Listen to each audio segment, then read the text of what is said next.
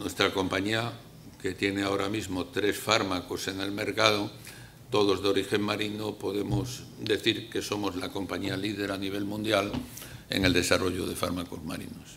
El primero fue John Delis, que se aprobó en el 2007 eh, para el tratamiento de sarcomas de tejidos blandos. Se aprobó por la Agencia Europea del Medicamento y fue la primera vez que se aprobó un antitumoral de origen marino a nivel mundial. También es un hito porque fue la primera vez que una empresa española logró una aprobación de un fármaco por la EMA por procedimiento centralizado. A eso siguió en el año 2009 una aprobación para este mismo fármaco para el tratamiento de cáncer de ovario. Luego tenemos la aplidina, que está aprobado eh, eh, en Australia ya para el tratamiento de mieloma múltiple. Y el último que nos han aprobado es el Cepcelca, la lurbinectedina, que nos lo aprobó el año pasado eh, Estados Unidos, la FDA, nos dio un accelerated approval para el tratamiento de cáncer de pulmón microcítico eh, y ahora ya se está aprobando en más países. Nosotros cuando empezamos, bueno, nos tacharon de todo, vamos de, eh, empezamos con la idea de hacer algo que no se había hecho de forma sistemática y pensamos que era una oportunidad. Todos sabemos que la naturaleza nos ha proporcionado excelentes medicinas. Bueno, el caso de la penicilina eh, es muy conocido, de penicillium.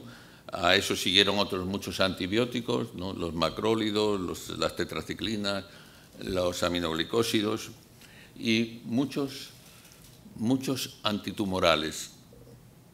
Por ejemplo, aquí solo es un ejemplo, tenemos que el taxol, el paclitaxel, el etopósido, el irinotecán, proceden de hojas o de raíces de plantas. O tenemos también procedentes de bacterias, eh, la doxorubicina y otros muchos más, blomicina, mitomicina, etcétera, eh, como ejemplos de antitumorales eh, producidos por la naturaleza, que que la idea de que en el mar podía haber medicina no es original. Pero, sin embargo, no, había habido ninguna compañía farmacéutica que de forma sistemática se hubiera puesto a ello. Nosotros en eso fuimos eh, pioneros y, líderes hoy en día.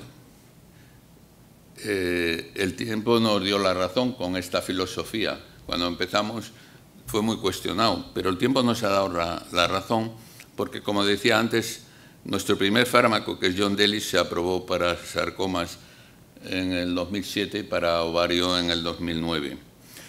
Este es, un compuesto de origen marino, lo produce este invertebrado marino que tienen aquí en la foto, Tinastria turbinata, que produce esta molécula tan bonita y tan compleja que se llamó ET743, eh, travectedina, Delis, esta molécula era tan compleja que nosotros en aquellos inicios no teníamos mucho dinero y entonces eh, estábamos dispuestos a vender a uno de los hijos para sacar dinero y seguir adelante. Entonces eh, nos pateamos varias eh, compañías multinacionales para ver si nos lo licenciaban. Mostraba una actividad formidable, pero nos cuestionaron que sería imposible producir esta molécula tan compleja por síntesis química y por lo tanto como no podíamos garantizar el suministro, que, no, ellos no querían saber nada de esto. Lo que hicimos es poner en marcha eh, tres caminos para lograr la producción y poder garantizar el suministro de, de este compuesto. Y pusimos en marcha eh, cultivos de maricultura y acuicultura, eh, como se cultivan los mejillones o como se cultivan las ostras y tal. Pusimos en marcha también una investigación en la síntesis de la molécula y también en marcha otra investigación para ver si lo lográbamos por ingeniería genética, porque esto lo produce una peptidosintetasa y, y abordamos los tres proyectos. Logramos por maricultura y también eh, por semisíntesis lo que muchas compañías dudaban que, nunca se iba a lograr, ¿no? la síntesis del ET743. Esto Esto está patentado y es el procedimiento por el que ya a partir de entonces eh, se ha venido produciendo esta molécula. Con eso se hicieron los ensayos clínicos, que fueron los que finalmente llevaron a que el Yondelis fuese aprobado en el 2007 para el tratamiento de sarcomas de tejido blando por la, por la EMA, que entonces se llamaba EMEA.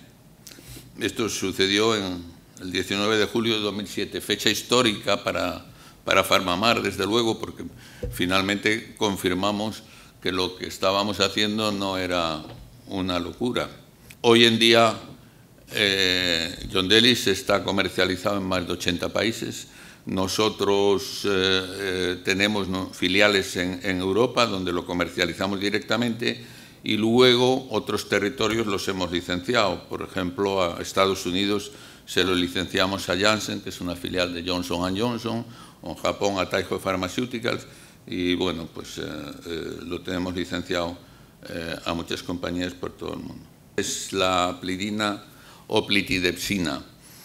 Nosotros en nuestras actividades lo que hacemos es tenemos un equipo de buceadores que van recogiendo muestras con previo permiso con los países para poder exportar las muestras que recogemos por todo el mundo. Pues están ahora en Madagascar, Indonesia, eh, en el Pacífico, Palau, las Islas Palau, Fiji, etcétera, el Caribe.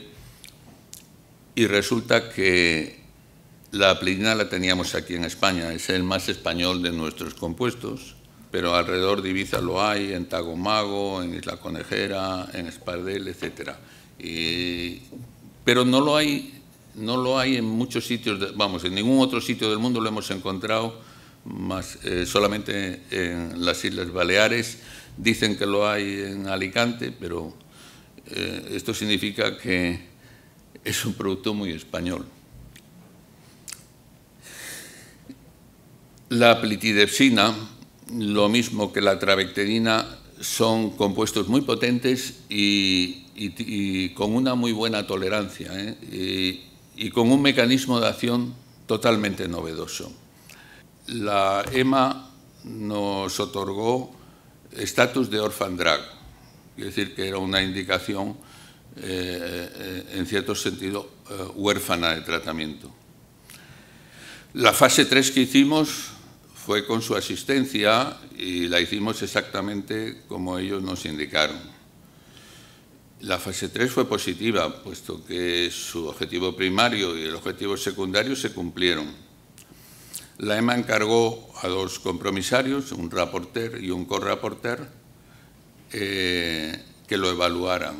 Y esto es importante porque la EMA encarga a dos países que evalúen, les da del orden de 250.000 para que hagan esa evaluación, tardan más o menos un año en evaluarla y son los que realmente saben porque cuenta con toda la gente de ese país, de la agencia de ese país para la evaluación. Esto es importante porque el comité de, la EMA luego eh, puede ocurrir porque cada país manda allí a un representante, Malta al suyo, Lituania al suyo, eh, Polonia al suyo, y puede ocurrir que ninguno sepa de, cáncer. Eh, en este caso sí había uno que sabía de cáncer, que era el belga, porque era oncólogo, y, recomendó su aprobación, lo mismo que el reporter y el correporter. Otro hecho importante es que el mieloma múltiple es una enfermedad incurable, que aunque haya muchos tratamientos, los pacientes progresan. Eh, la pleina tiene un mecanismo totalmente novedoso, luego es un fármaco de los que se llaman first in class. La mayoría de los eh, expertos en mieloma múltiple eh, recomendaron su aprobación y lo mismo que las asociaciones de pacientes. Eh, otro dato es que la Unión Europea importa todos los tratamientos que se hacen en Europa para mieloma múltiple que importaban en esa época 2.500 millones de euros al año. Y Aplidina está desarrollado por una compañía europea, de la Unión Europea.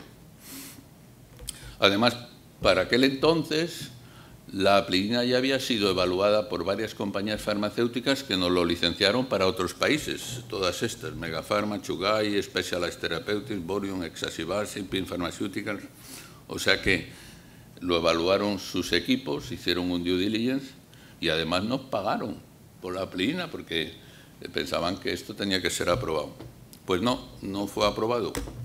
Eh, eh, nos eh, otorgaron una decisión negativa y entonces lo que hicimos fue, no, nos parecía que esto tuviera ninguna lógica. De hecho, realmente creo que no hay ningún caso en el que reporter y corraporter recomienden la aprobación y no se apruebe. Con lo cual, lo que hicimos fue apelar al Tribunal Superior de Justicia de la Unión Europea en Luxemburgo, que después de dos años de evaluar nos dio la razón y acusó a la EMA de haber tomado la decisión por conflicto de intereses con una farmacéutica y les ha cargado con las costas.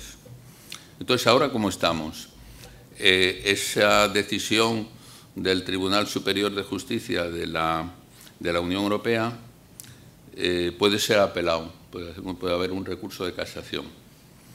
Pero eh, la Comisión Europea ha visto que la decisión estuvo muy bien tomada y no lo ha recurrido pero para nuestra sorpresa han aparecido ahí dos países, Letonia y Alemania, que lo han recurrido. Entonces ahora estamos en esa pelea. Eh, lo cual lleva a pensar si esta decisión que se tomó en su momento era técnica o política, porque ¿qué hacen dos países? Además, eh, contraviniendo lo que piensa la Comisión Europea de esta decisión. Bueno, pues estamos en esas y si al final ganásemos eh, que yo espero que ganemos este recurso de casación contra Estonia y Alemania, pues entonces volvería a la EMA para que sea de nuevo evaluada. O sea que Apridina no está rechazada, está en esta situación que les cuento. Entre tanto, ha habido otros países que sí lo han aprobado. Por ejemplo, esto se ha aprobado en Australia en el 2018 y ahora creo que van a publicar unos datos muy interesantes de cómo responden los pacientes a, a aplidina eh, en un estudio que han hecho los australianos. Y el siguiente compuesto es el Zepzelca o lurbinectedina. Este compuesto también lo produce eh, este invertebrado del que ya hemos hablado, que es la actinascidia turbinata. La actinascidia turbinata, además de producir John Delis, que aquí tiene un ciclo muy diferente, produce muchas moléculas y producía, producía uno que es 736, que es el que está marcado en azul, al que nuestros químicos modificaron e introdujeron aquí en amarillo un, grupo metoxi. Este compuesto ha sido muy activo y muy interesante eh, y la primera indicación para la que se ha probado es cáncer de pulmón microcítico. Además de, del cáncer de pulmón microcítico, la lurbinectedina ha mostrado una muy buena actividad en mesoteliomas y también aquí unas publicaciones pues, que en, cáncer de endometrio, en cáncer de ovario, en, cánceres que tienen mutado los genes BRCA1 o BRCA2 muestran muy buena actividad y estos estudios se están haciendo. El estudio que sirvió para la aprobación es un estudio en monoterapia en el que se pactó con la FDA que si en los primeros 15 pacientes hubiera dos respuestas, se continuaría el estudio hasta 100 pacientes y podría ser, si el resultado era positivo, base para un accelerated approval. Eh, hubo cinco respuestas confirmadas, con lo cual se continuó, se acabó el estudio y, con muy buena actividad, con lo cual esto sirvió para que nos lo aprobase eh, Estados Unidos. Aquí está la, eh, la, carta de la FDA dándonos el Accelerated Approval. Y después de Estados Unidos eh, lo, están aprobando, ya está aprobado en Australia, en Canadá, en Emiratos, en Singapur y se está evaluando en otros muchos países en este momento. Y eh, hablando de compuestos marinos, vienen más detrás. Ahora mismo hemos acabado la fase 1 de otro, que es la cubectedina, que es el PM14, y luego en, eh, en preclínica tenemos más candidatos.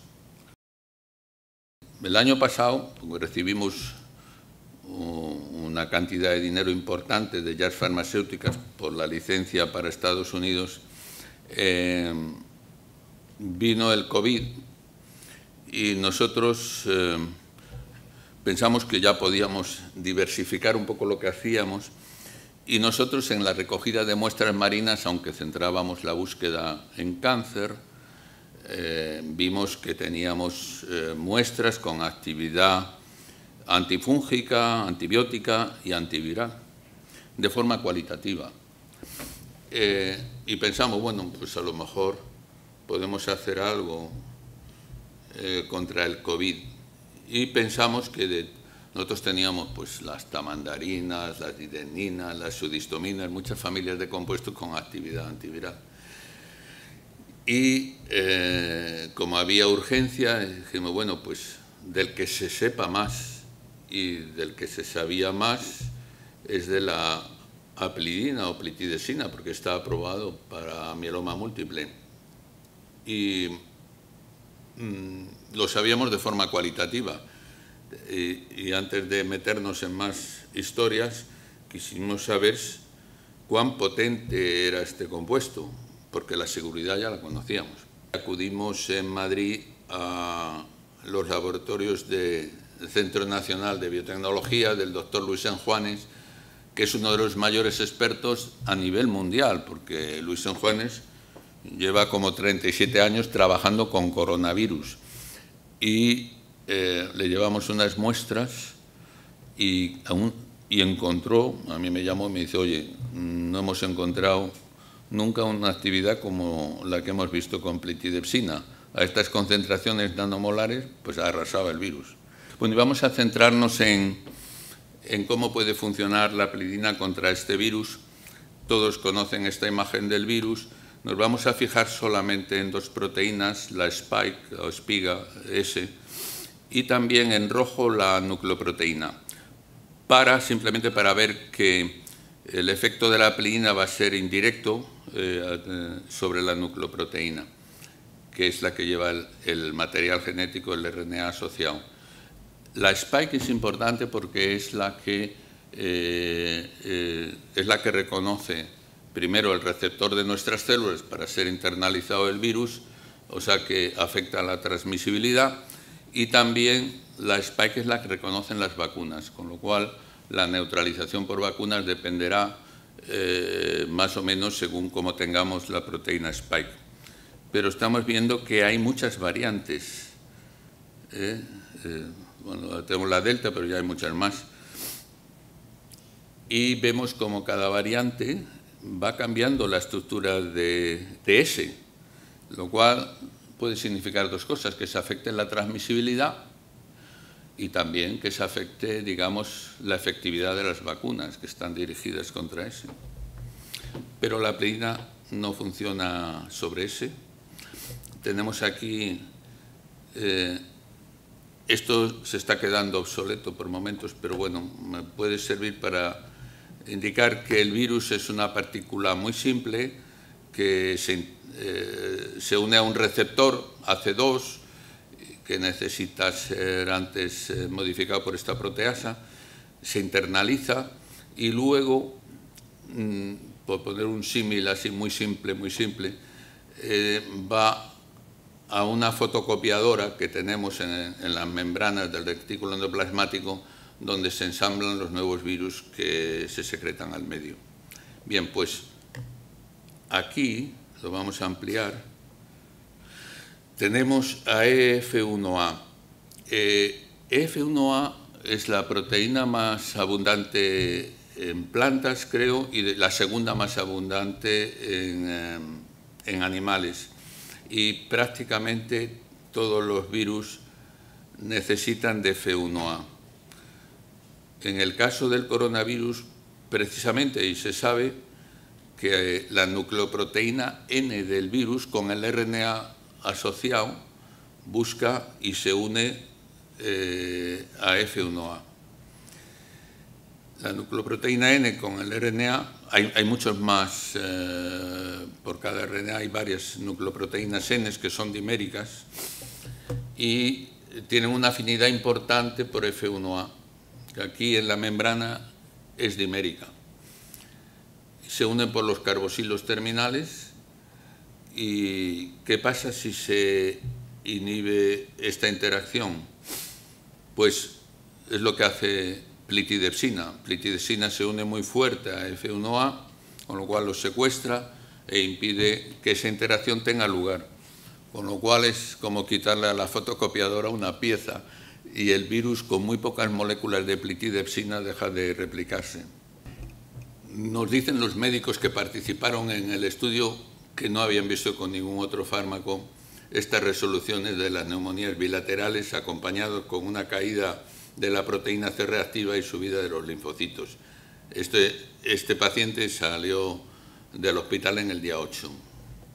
Este otro en el día 7. Eh, todas estas lesiones, cómo desaparecen, cómo cae la proteína C reactiva, cómo suben los linfocitos.